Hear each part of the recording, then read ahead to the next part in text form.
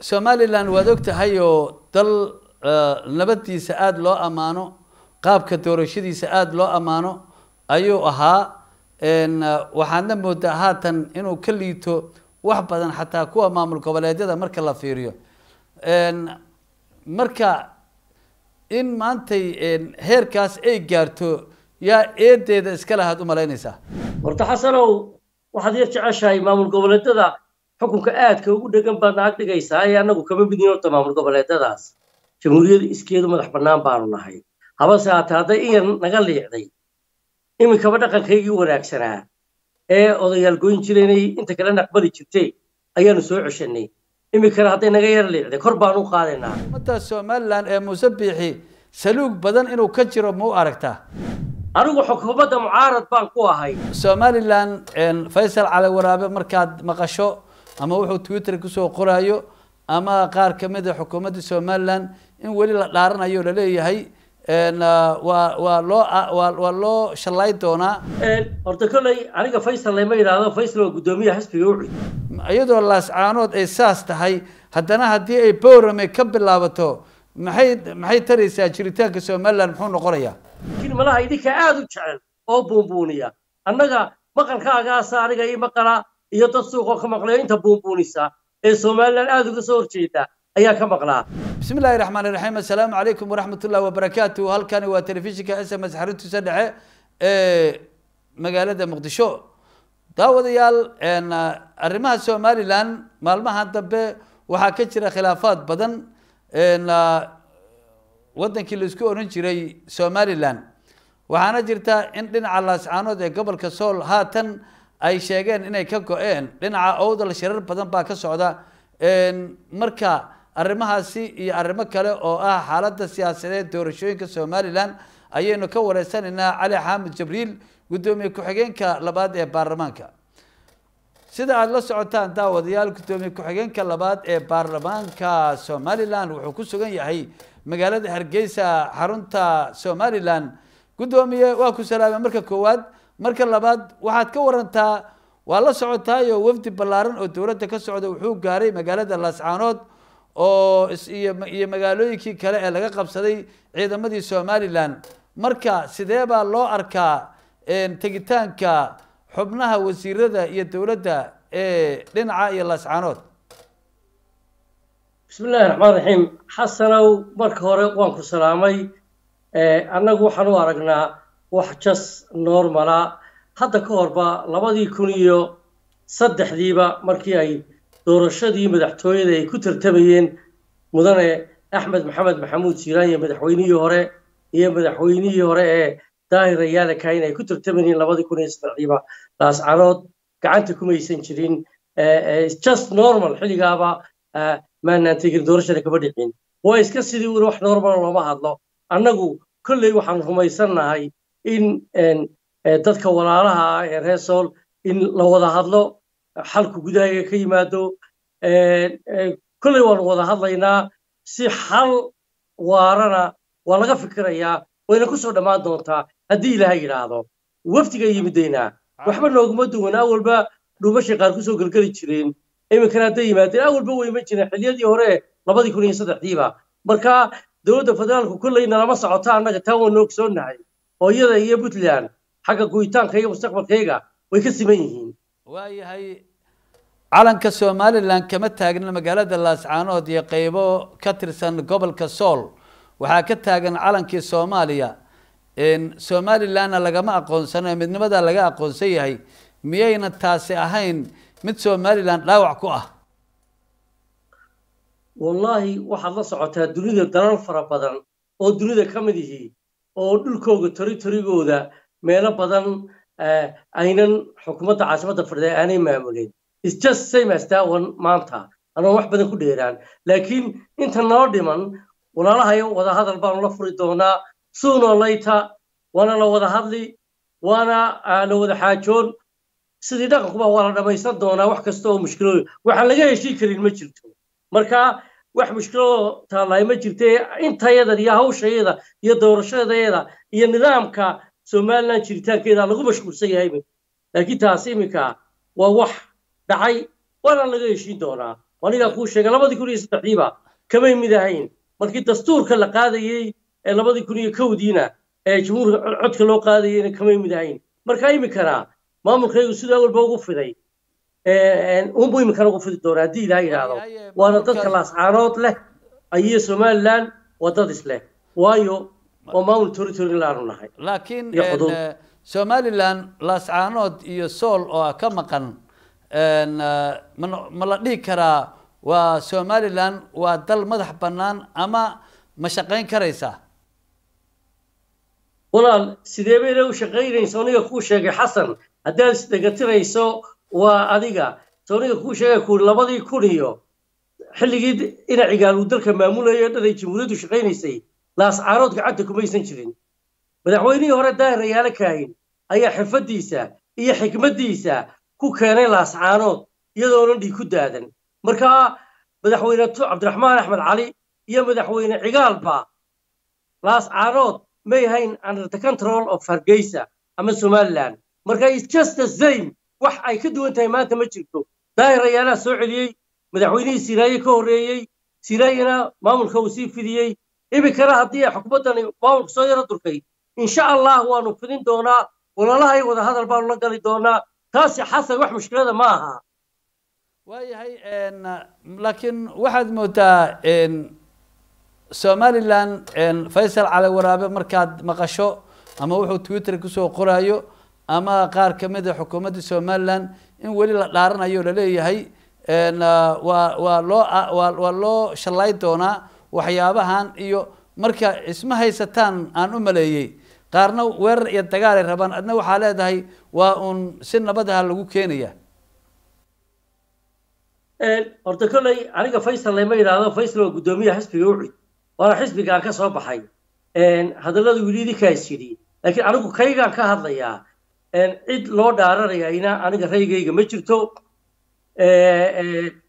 Xisbiyada iyo ururada kaleba dhaarasho hadduu faysal muujiyiinteeda kale xisbiga waddani xisbiga ugu weyn ee dalkuba dhaarasho ma uusan muujin wadahadal buu la gali waa dad waa wax hahaabasho u malayn maayo xabadi inay xal keenayso aniga raygayga. Laakiin in nabadda jaanis la siiyo waa wax iminka ay dowladdu waddo oon annaga oo dowladda ka mid a anigu xukuumadda kama mid ihi laakiin dowladda ayaan ka mid ah oo waxaan ka mid ahay saddexda dhadhaare dowladda mid ka mid aan ahay hoggaamadooda. Marka ah, annagu xal nabadeed baan wax u aragnaa ra'yigayga oo mar kastaba in peaceful solution la raadi oo oo nabadda jaanis la siiyo oo oo si kastoo lagu helayo la- siiyo nabadda marka Wa- walaalahay waa la wada hadli doonaa waana wax iska soo dhammaan doonaa. Haddii ilaahay rajo fiicanna waan qabaa. Gobolka aad ka soo jeedo owdal waad la socotaa isaguna waa ruxmaya oo gudihii iyo dibaddiiba sharar baa ka socda. Magaalada ottawa ca- ee wadankaasi canadana waa ogtahay shirka ballaaran ee ka dhacay ee la doonayo gudihii inta la yimaado haddana shirar kale in lagu qabto. Marka iyadoo laascaanood ay saas tahay haddana haddii ay bowrame ka bilaabato maxay maxay taraysaa jiritaanka somaliland muxuu noqonayaa? Horta xasanoo malaha idinkaa aad u jecel inay boorama dhaqdhaqaaqdo oo ay wax ka jiraan. Qoladan aad sheegtee shirarka dibadduna waa qolo iska dibad wareego markii koowaadna maaha markii labaadna maahae awal baa awdaystee meelahaasay iska wareegtaa. Saamayn taban ama tutogan midna gobolka awdal een ka soo jeedo kuma laha laakiin malaha idinkaa aad u jecel oo buunbuuniya annaga maqalkaagaasa aniga ii maqala iyo dad suuqoo ka maqlayo inta buunbuunisa ee somaliland aad uga soo horjeeda ayaa ka maqlaa awdal waa part and parcel of somaliland oo oo si kastaba dadka reer awdal somaliland bay dhisteen oo ay leeyihiin marka uma arko waxa aad ka sheekaynaysaan idinka aad u jecel annaga xaggayaga adigu baan kaa maqlaynaa iyo dadka saxaafadda ee nacaybshaha somaliland aad u jecel inay faafiyaan marka wax dhibaataa naguma haysan saaxiibe. Dibaddooda ay garaamka ka cunaan unbay ka cunayaan.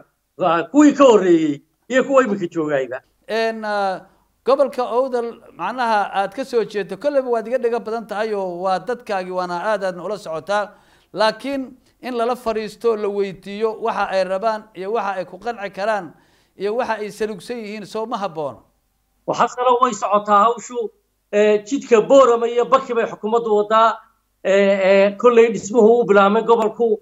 Annaguna intayada waanu ku darsanaynaa wax badan baa socda. Marka wixii jira gudaha iyaga waa la xalin karaa waa wax miiska la wada fadhiisan karo oo aanu dhammaysan karo oo aanu dhiig wax lagu daadiyay meesha ma yaalla maanta ama cidi ay ka hadashahay. Waa la dhammaysanayaa dadkaygu dhaqan baanu leenahay miis la wada fadhiisto dad ehel iyo gacal iyo abtiisku ah marka mar kastaba in laga shaqeeyo kala fogaanshaha ummad meel wada degan wax diinta islaamka u fiicanna ma aha wax wada noolaanshaha ummadda u fiicanna ma aha. Inta ku hawlan ee ka shaqaysana waxaan ilaahay u baryayaa ee ay saxaafaduhu ka mid yihiinna inuu ilaahay toobadda fiican ku hanuuniyo oo ay ummadda jiritaankooda iyo isfahamkooda ay wakhti badan geliyaan. Waayahay adigu xukuumadda somalilan ee muuse biixi saluug badan inuu ka jiro ma u aragtaa anigu xukuumadda mucaarad baan ku ahay. Haddana dee qadiyadda somalilan baa naga wada dhaxayso markay somalilan timaado anigiyo muuse isaga mid baanu nahay. Laakiin markay gudahayga iyo tartanka tahay dee waa kursigaa laysku haysta anu aan fuulayo anu aan fuulo taasi waa wax jira. Laakiin markay jiritaanka somalilan timaado aniga muuse kuma kala duwanin.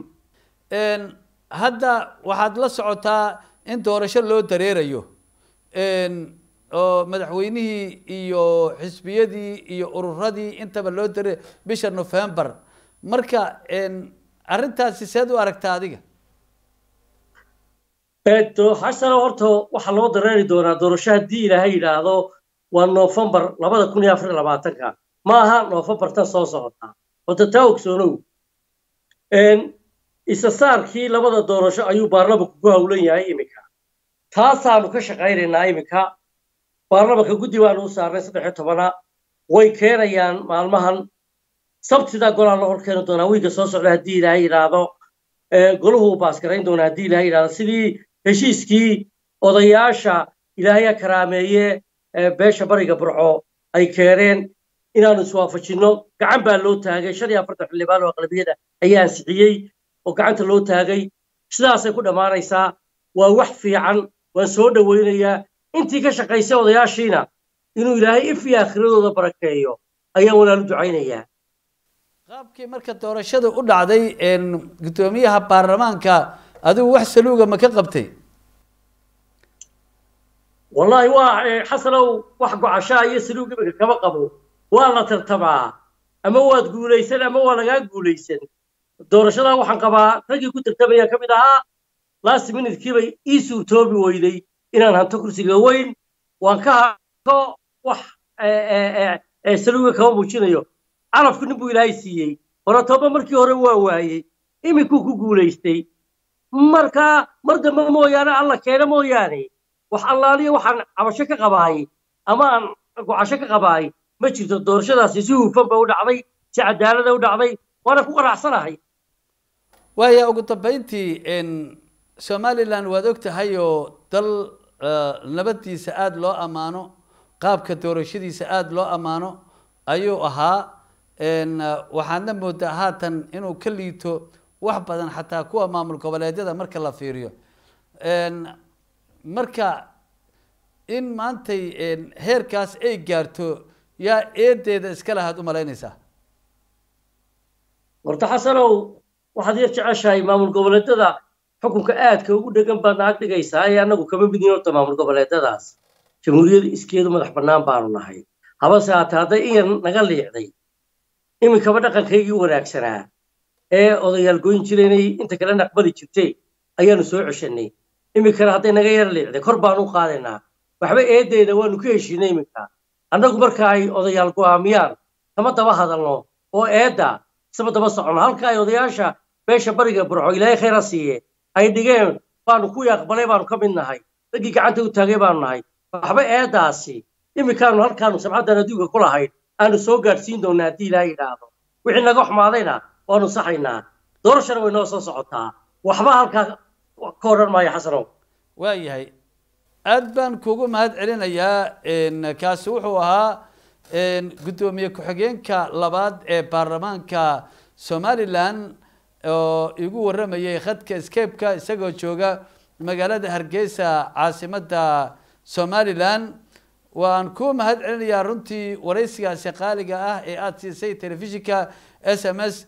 Saaxiib joogto ah oo telefishinku leeyahayna waa aad tahay. Marka sidaasaan aan kugu mahad celinayaa sidoo kale farsamo yaqaan sayid cali cabdiraxiin xuseen caylaawe iyo dhammaan farsamo yaqaanada stuudio telefishinka s m s iyagana waan salaamayaa waana u mahad celinayaa guddoomiye aad baan kuu salaamayaa kuguna mahad celinaya xasan aniguna aad baan kuu salaamayaa soo dhawow baan ku leehay walaal